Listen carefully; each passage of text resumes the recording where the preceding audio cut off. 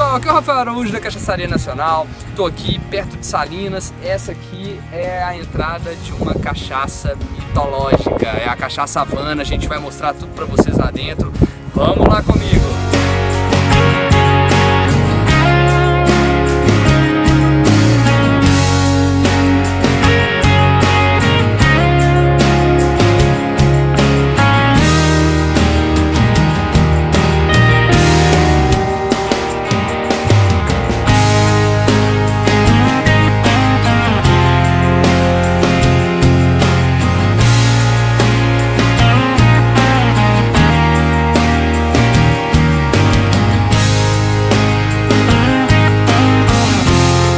Pessoal, estou aqui com o Geraldo, um dos filhos do Anísio Santiago, diretamente da Fazenda Havana. Tudo bem, Geraldo? Tudo bom. Tudo jóia. Tranquilo. Conta pra gente um pouquinho é, como tudo começou. Por volta de 1940, meu pai comprou a, a, a propriedade, né? Fazenda. E já existia uma, uma fabriquetazinha. E ele deu continuidade àquela fabriqueta e em 1943 ele registrou a marca. E aí ele começava, ele, ele trabalhava num caminhão na época, ele deixava parte da, da, da, da produção envelhecendo e a outra parte comercializava para fazer capital de giro. E aí ele foi aperfeiçoando a marca, foi com muito cuidado, é, muita paciência, até chegar no patamar que chegou em termos de qualidade.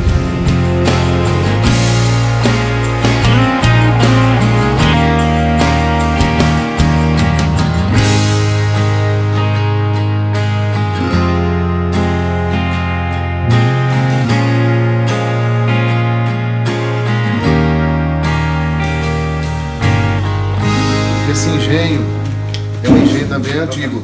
Mas para os, os, a demanda nossa, ele é, é mais do que suficiente. E ele, assim, ele ficou quase 28 anos sem, sem dar problema. Aí quando começou a dar problema também, veio tudo de uma vez. Aí cada reformou de tudo. Começou ano passado, teve que reformou, tá, tá novinho. Daqui a mais 30 anos aí sem, sem problema. Não tem demanda para. Você tá novo? É porque a gente fabrica de 9 a 12 mil litros por ano, dependendo da safra da cana. Então é muito pequeno.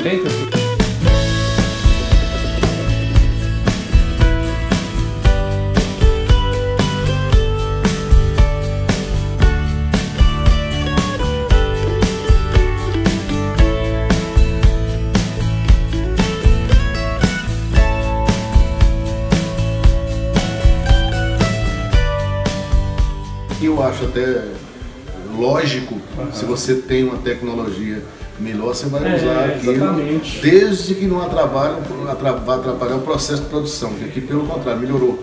Né, Cleber? Melhorou. Melhorou muito, fácil de lidar, fácil de mexer. Né? Aqui o fermento é feito com o, o, o caldo da cana em milho triturado. Né? Então, depois, é, depois que faz o BRICS ali, reduz a 15%, coloca aqui no outro dia retira, né? Quem quiser ver o, o cheiro dali. Tá bonito. Foi daqui.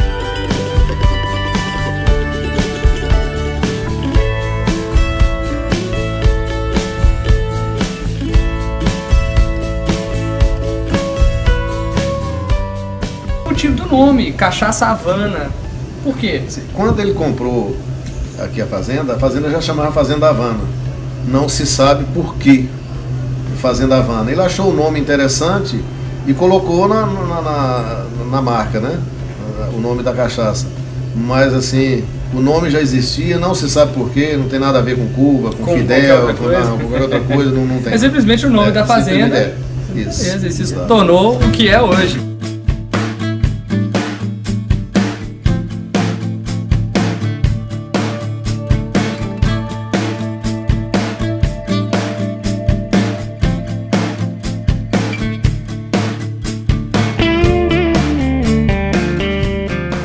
Busca cana com, com, com o, trator, mas pelo menos uma vez por, por semana, ou o carro de boi vai lá buscar. Você não pode perder a tradição.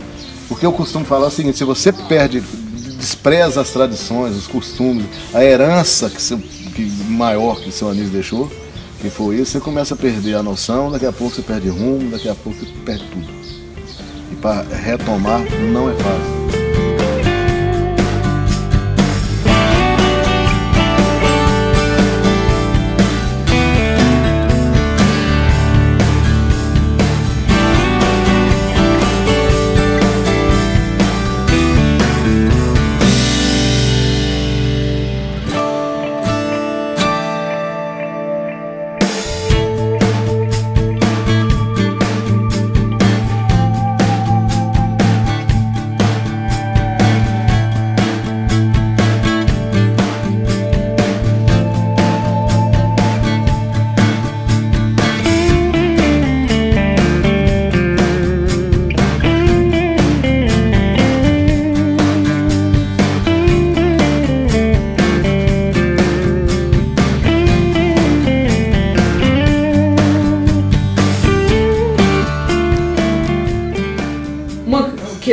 Geraldo, que preocupa bastante é a falsificação, né? A gente vê lá em Belo Horizonte, em outros locais, a pessoa chega lá feliz com um preço muito que conseguiu a Havana com um preço muito inferior e na verdade não está comprando o produto original. É. Fala um pouquinho pra gente essa, sobre essa isso. questão da falsificação ela é recorrente, já vem há algum tempo. Existem os mais especializados, especialistas em, em Havana Velha, e a Havana Velha não existe, isso é mito. Quem, tem, quem pode ter alguma Havana Velha é algum colecionador ou alguma pessoa que comprou e tem em casa, ou para mostrar para os outros, ou para uma festa de aniversário, de casamento de um filho, uma coisa que tem em casa. Mas fora disso, a pessoa oferecer a Havana Velha na rua não existe. A gente está vendo aqui, essa, Havana, esse rótulo aqui, é de uma Havana é, falsificada é o, o amarelo gema de ovo, é, esse selo aqui é todo é, esquisito, porque ele é falsificado também. O que, que eles fazem? Eles pegam a tampa, eles pegam a tampa metálica, coloca no ácido ou no sal para enferrujar e dizer que é Havana Velha. Mas não existe. O selo dele, você pode notar que a, a, a tampa enferruja, mas o selo, o selo ele não derrete, não. Né? É um selo especial, deve ser. Isso aqui é falsificado. Volto a dizer, não existe essa questão de Havana Velha. Havana Velha é mito. Você, para comprar uma Havana Velha, você precisa confiar muito, conhecer muito bem a pessoa que está te oferecendo. Então, pessoal, olha, é bem diferente. A Havana Velha, como ele disse, não existe. Né? É, o rótulo é claro, a, Havana Nova, o selo, tudo é totalmente diferente. E a Havana Velha, é, não compre, cara. Não compre uma Havana Velha, a não ser que a pessoa seja muito de confiança. É, não compre aí.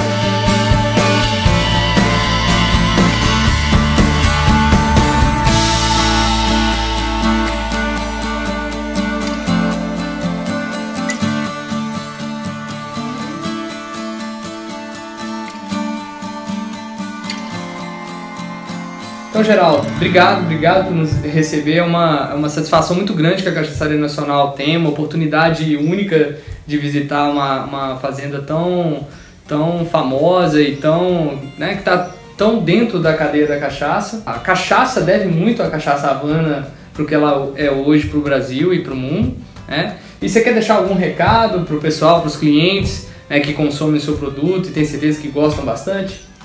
Sim, primeiro queria agradecê-los por ter vindo e nos dar a oportunidade de mostrar o nosso produto é, para o público, né? para que eles conheceram um pouco melhor. É, a gente queria dizer que já há quatro anos a, a Cachaça Havana ela recebeu do IMA o selo de produto orgânico, né? selinho verde aqui, de produto orgânico. E agora, por época do Festival da Cachaça, nós estamos lançando esse saquinho, ele contém uma rolha sintética dentro, para a hora que a pessoa abrir, porque a tampa metálica depois que você abre, ela não veda mais. Aí você coloca essa, essa tampa para seguir o, é. o consumo e falar com o pessoal mais uma vez de falsificação cuidado, porque o produto que o pessoal coloca nessa cachaça falsificada, ele pode até fazer mal à saúde, porque é cachaça de péssima qualidade.